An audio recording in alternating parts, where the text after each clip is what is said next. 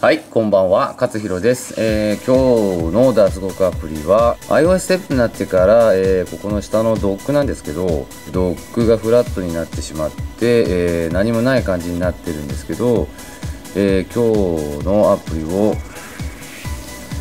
入れてもらうと、こちらなんですけど、ドクラシックドックっていうんですけど、これをインストールしてもらうと、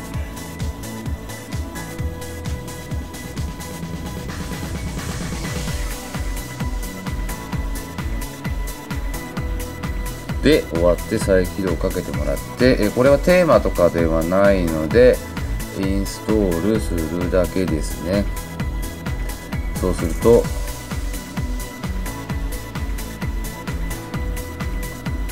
えー、ちょっと微妙なんですけど iOS6 の時のようなこういう、えー、うっすらですが、えー、ドックが、え復活するようになってます。えー、今日はクラシックドッグの紹介でした。では、またねー